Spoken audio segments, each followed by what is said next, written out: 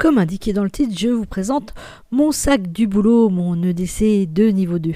Voilà la bête et je l'emmène tout de suite à mon bureau. Donc c'est un sac que j'ai eu gratuitement puisqu'il a été offert par le travail avec l'ordinateur du boulot et je vais vous présenter les caractéristiques de ce sac, ma foi, bien sympathique que j'utilise depuis quelques mois maintenant. Donc c'est un sac qui vient de l'entreprise Dell, un Pro Slim Backpack pour euh, un ordinateur 15 pouces. Sur le site, on le trouve euh, sur le site de Dell à environ une cinquantaine d'euros le sac. Les bretelles sont extrêmement confortables d'eau aussi, donc le port est, agréable. Il pèse moins d'un kilo, 600 grammes je crois, à vide. En tout cas, il, il est vraiment léger et confortable à porter. Il a sur le dessus une poignée avec lequel on peut prendre euh, le sac et qui est assez solide. Euh, on a une bonne prise en main quand on le porte euh, comme ça à main, comme vous venez de voir tout de suite dans la vidéo. Il y a une petite poche sur le devant et sur les côtés il y a des petites poches latérales aussi dans lesquelles on peut glisser quelques, quelques petits items que nous verrons tout à l'heure. À l'intérieur, on trouve une pochette rembourrée pour euh, l'ordinateur portable. Hein. donc, je rappelle, c'est pour un 15 pouces. Et puis, de nombreux compartiments bien pratiques aussi pour y glisser différents objets. Sur la fermeture, j'ai accroché un porte-clés puis un multitool qu'on m'a offert à Noël. Je vous le présente ici. Je sais qu'il y a des amateurs de ce type d'objet. Et ceci me permet, en dehors du fait d'avoir un multitool avec moi, de pouvoir différencier mon sac de celui de mes collègues parce qu'on a tous le même, hein, du coup. Sur la poche de devant, bah, je peux déjà mettre pas mal de choses. Bon, alors, bien sûr, une collection de masques parce que j'en utilise quand même euh, beaucoup. Mouchoir en papier avec à l'intérieur euh, de mon paquet de mouchoirs toujours des gants en latex pour euh, ben, soit pour faire du secourisme, soit pour ramasser des trucs euh, pas très ragoûtants. Une petite pompe au poivre pour, la défense, de quoi nettoyer les lunettes. un petit paquet pour ramasser ben, les cacas les cacas de nos amis poilus un petit doudou bah ouais j'ai toujours besoin de mon petit doudou une lampe pour quand je vais au caille ou au poule le soir pour pouvoir m'éclairer. Bah, toute une collection de stylos comme il se doit. Et puis, euh, qu'est-ce que j'ai encore là-dedans? Ah bah des allumettes et puis un paquet de chewing-gum. Et, puis bien sûr, euh, l'indispensable briquet pour cette première petite poche. Sur les poches latérales, alors là, je vais avoir un, un stylo euh, qui peut aussi servir de brise-vide parce que ce sac va aussi avec moi dans la voiture. Donc c'est un stylo tactique et je le pose côté euh, conducteur dans la voiture quand je me rends au travail. Donc voilà, ça peut me servir de brise-vide et puis j'ai bien de brise-vitre et j'ai aussi bien sûr euh, du gel hydroalcoolique toujours avec moi dans le sac et sur l'autre poche de l'autre côté un paquet de mouchoirs. À l'intérieur, eh ben, ma petite gourde d'eau, ma petite thermos, lunettes de soleil, euh, carte de visite, crayon de couleur, aussi un petit pochon en tissu pour euh, y ranger différentes choses, une trousse avec tout ce qu'il faut dedans, stylo, feutre, etc. Et je vais avoir évidemment mon agenda professionnel qui me quitte rarement. J'ai aussi eh ben, mon trauma kit. Je sais, vous allez me dire, il faut que je change mon garrot tourniquet qui est à l'intérieur. Je vais essayer de m'en occuper cette année. J'ai mon bobo kit avec euh, des pansements, euh, quelques petits médocs de base.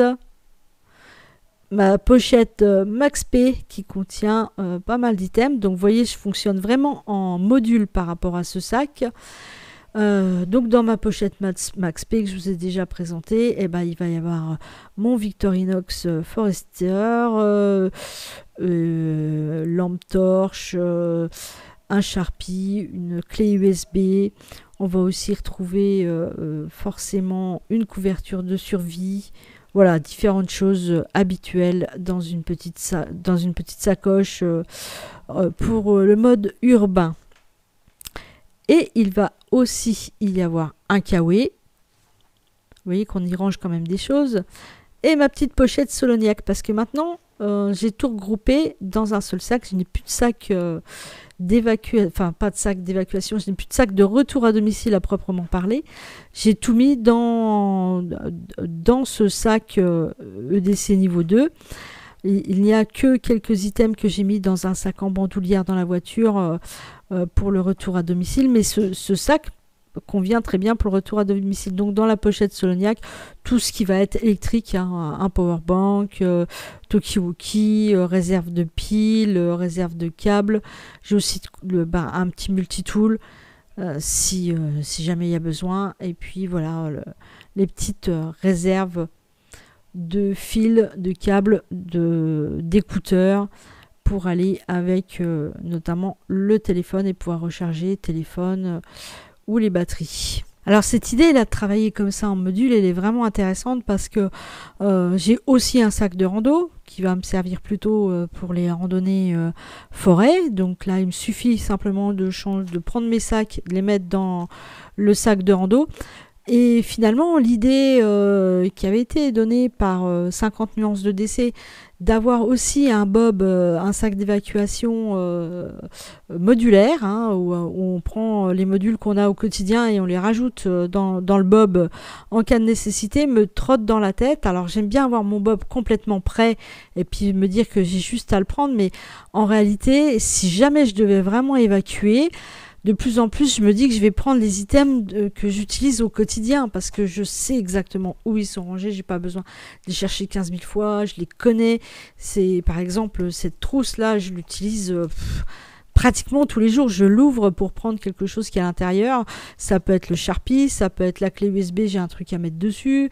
Euh, voilà, je, connais le couteau qui, est dedans, j'ai pris du soin à, le choisir. Donc c'est chacun des items qui se trouvent dans ces modules que j'ai tous les jours avec moi, je les ai sélectionnés avec soin et euh, quand j'en, retire ou quand j'en remets, c'est vraiment euh, réfléchi et pensé. Par exemple, là, quand je vais euh, améliorer mon trauma kit, peut-être que je vais changer la pochette du trauma kit. Il y aura à peu près les mêmes choses dedans, que ce soit les, ciseaux Gesco ou le garrot tourniquet. Mais le garrot, quand je vais le changer, je, vais pas.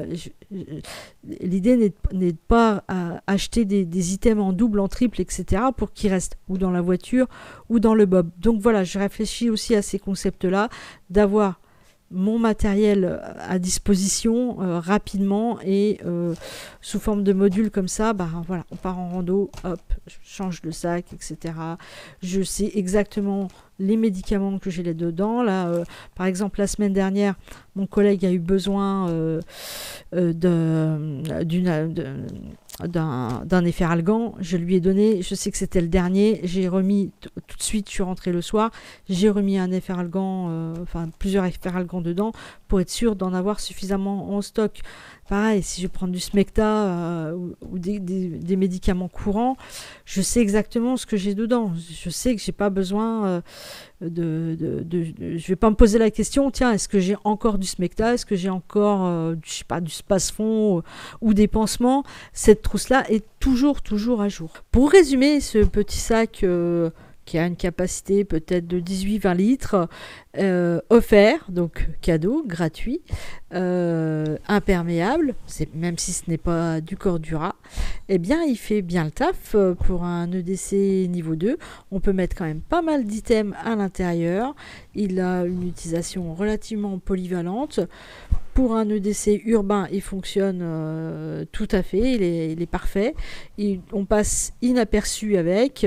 Euh, il peut avoir un aspect tactique à l'intérieur, mais sans pour autant attirer le regard. Donc du côté homme gris, euh, ben, c'est parfait. Euh, au niveau de mes collègues de travail, personne va me poser la question trop de ce qu'il y a dedans. Bah si, parce que forcément, ils savent bien que j'aime bien avoir euh, plein d'items, donc euh, ça les amuse et puis euh, c'est quelque chose de sympathique. Mais voilà, je voulais vous, vous le présenter. Sachant que Monkey EDC a fait une revue il y a quelques jours maintenant sur un sac aussi qui est un, sac euh, ordinateur portable et je vous mets le lien dans, en dessous dans la description parce que euh, c'est un autre modèle de sac ordinateur que lui aussi va, euh, dont lui aussi va se servir comme sac EDC et qui est à mon avis celui qui présente beaucoup plus pratique et beaucoup plus ergonomique que celui-ci.